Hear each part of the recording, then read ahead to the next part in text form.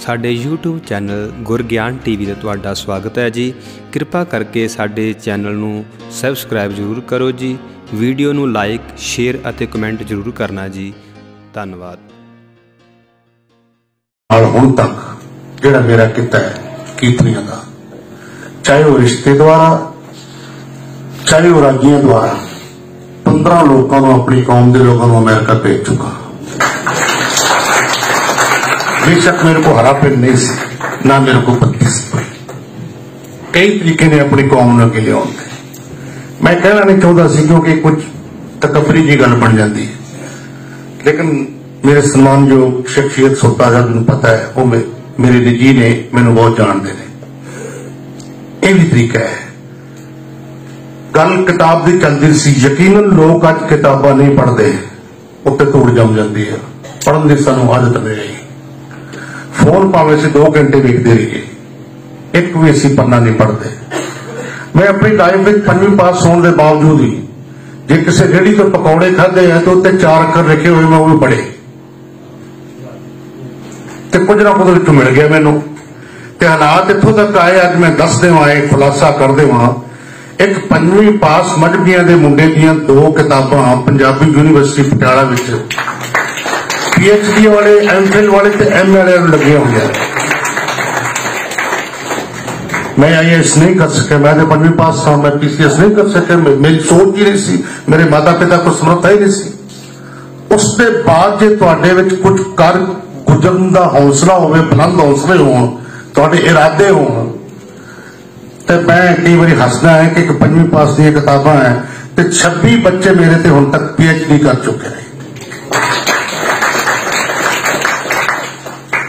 ਮੈਂ ਇਹਨੂੰ ਇਸ ਗੱਲ ਨੂੰ ਨਹੀਂ ਮੰਨਦਾ ਬੇਸ਼ੱਕ ਮੈਂ ਧਾਰਮਿਕ ਆਦਮੀ ਹਾਂ ਕਿ ਹਾਂ ਜੋ ਰੱਬ ਨੇ ਕੀਤਾ ਐਸਾ ਨਹੀਂ ਤੁਹਾਨੂੰ ਕੁਝ ਆਪ ਕਰਨਾ ਪਏਗਾ ਤੁਰਨਾ ਪਏਗਾ ਤੁਰੋਗੇ ਤੇ ਮੰਜ਼ਿਲ ਮਿਲੇਗੀ ਨਹੀਂ ਤੇ ਅਦਵਾਟੇ ਰਹਿ ਜਾਓਗੇ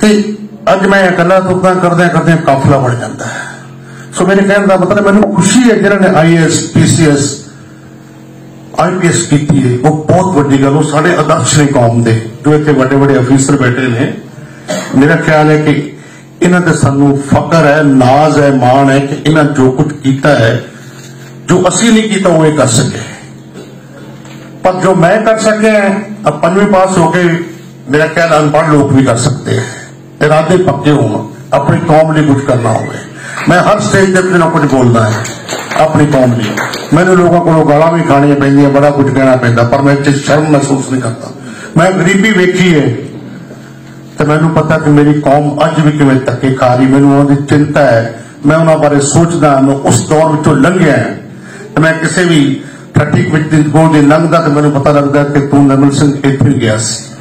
ਮੈਂ ਅੱਜ ਵੀ ਉਹਨਾਂ ਦੀ ਕੁਝ ਸੋਚਦਾ, ਜੇ ਹੋਰ ਕੁਝ ਨਹੀਂ, ਮੈਂ ਆਪਣੀ ਕਲਮ ਨਾਲ ਲਿਖਦਾ, ਮੇਰੇ ਲੇਖ ਵੀ ਆਉਂਦੇ ਰਹਿੰਦੇ ਨੇ। ਮੈਂ ਆਪਣਾ ਦੁੱਖ ਜ਼ਾਹਰ ਕਰਦਾ ਰਹਿਣਾ ਮੈਂ ਇਮਾਨਦਾਰੀ ਨਾਲ ਕੰਮ ਕਰਦਾ ਹਾਂ। ਲੇਕਿਨ ਆਪਣੇ ਖਿੱਤੇ ਵਿੱਚ ਵੀ ਜਿੱਥੇ ਮੈਨੂੰ ਕਿ ਮੇਰੀ ਕੌਮ ਦਾ ਬੱਚਾ ਗਰੀਬ ਦਿਸਦਾ ਇਹ ਨਹੀਂ ਕਿ ਮੈਂ ਕੋਈ ਅਹ, ਫਿਰਕਾ ਪ੍ਰਸਤੀ ਕੌਮ ਦਾ ਦਰਦ ਜ਼ਿਆਦਾ ਮੈਨੂੰ ਇਹ ਨਹੀਂ ਗੱਲ। ਮੈਂ ਵੇਖਦਾ ਕਿ ਲੋੜਵੰਦ ਕੌਣ ਹੈ। ਅਕਸਰ ਮੇਰੀ ਕੌਮ ਵਿੱਚ ਮਜਬੀ ਸਿੱਖਾਂ ਤੇ ਵਾਲਮੀਕੀ ਚ ਲੋੜਵੰਦ ਜ਼ਿਆਦਾ ਹੈ ਨਾ ਵਿੱਚ ਜਿਹਨਾਂ ਨੂੰ ਦਬਾਇਆ ਗਿਆ ਜਿਨ੍ਹਾਂ ਦਾ ਇਹਨਾਂ ਨੇ ਜ਼ਿਕਰ ਕੀਤਾ ਕਿ 20% ਕਰ ਦਿੱਤਾ ਉਹ ਹੋਰ ਵੀ ਦਬਾਉਣ ਦੀ ਗੱਲ ਹੈ। ਸੋ ਜੋ ਮਰਜ਼ੀ ਕਰਦੇ ਕਰੀ ਜਾਣ ਤੁਸੀਂ ਇੰਨੇ ਕਾਫੀ ਹੋ ਤੁਸੀਂ ਥੋੜੇ ਨਹੀਂ।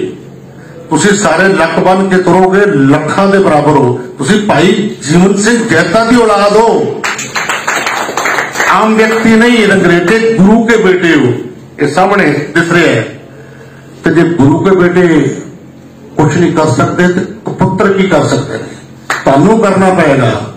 ਬੇਟੇ ਹੋ ਤੇ ਬੇਟੇ ਬਣ ਕੇ ਰਹੋ, ਇਰਾਦੇ ਬੁਲੰਦ ਰੱਖੋ। ਗੁਰੂ ਦਾ ਬੇਟਾ ਤਾਂ ਦੋ ਹੱਥਾਂ ਨਾਲ ਤਲਵਾਰ ਚਲਾ ਦਿੰਦਾ ਸੀ। ਅਸੀਂ ਉਹ ਲੋਕ ਹੈ। ਸੋ ਬਹੁਤਾਂ ਦੇ ਆਸਰੇ ਨਾ ਪਾਲੋ। ਤੁਹਾਡੇ ਨਾਲ ਕਿਸੇ ਨੇ ਨਹੀਂ ਤੁਰਨਾ। ਤੁਹਾਨੂੰ ਖੁਦ ਹੀ ਦਮ ਨਾਲ ਤੁਰਨਾ ਪੈਣਾ, ਆਪਣੇ ਆਪ ਕਰਨਾ ਪੈਣਾ। ਸੋ ਇੱਕ ਦੂਸਰੇ ਦੀ ਮਦਦ ਕਰੋ, ਲੱਤਾਂ ਨਾ ਖਿੱਚੋ। ਜੇ ਕੋਈ ਸਾਡੇ ਤੋਂ ਵੱਡਾ, ਉਹਨੂੰ ਮਾਣ ਦਿਓ। ਜੇ ਕੋਈ ਛੋਟਾ ਹੈ, ਤੇ ਉਹਨੂੰ ਇੰਨਾ ਪਿਆਰ ਦਿਓ ਕਿ ਤੁਹਾਡੇ ਵੱਲ ਵੇਖ ਕੇ ਤੁਹਾਡੀ ਨਕਲ ਕਰ ਸਕੇ। ਸੋ ਤੁਸੀਂ ਸਾਰੇ ਮੇਰੇ ਸਤਿਕਾਰਯੋਗ ਹੋ। ਮੈਨੂੰ ਇੰਨਾ ਨਹੀਂ ਬੋਲਣਾ ਆਉਂਦਾ, ਨਾ ਮੈਂ ਕੋਈ ਇੰਨਾ ਵੱਡਾ ਵਿਅਕਤੀ ਆ ਔਰ ਸਤਿਕਾਰਯੋਗ ਸੋਤਾ ਸਾਹਿਬ, ਜਿਹੜੇ ਮੇਰੇ ਆਦਰਸ਼ ਨੇ, ਬਹੁਤ ਸਾਰੇ ਇਹਨਾਂ ਦੇ ਮੇਰੇ ਤੇ ਅਹਿਸਾਨ ਵੀ ਨੇ। ਔਰ ਮੈਂ ਹਮੇਸ਼ਾ ਇਹਨਾਂ ਦਾ ਬੜਾ ਸਤਿਕਾਰ ਕਰਦਾ ਹਾਂ। ਤੇ ਅੱਜ ਮੈਂ ਕੁਝ ਸਿਖਾਉਣ ਲਈ ਨਹੀਂ, ਸਿੱਖਣ ਲਈ ਆਇਆ ਸਾਂ। ਵਾਹਿਗੁਰੂ ਜੀ ਕਾ ਖਾਲਸਾ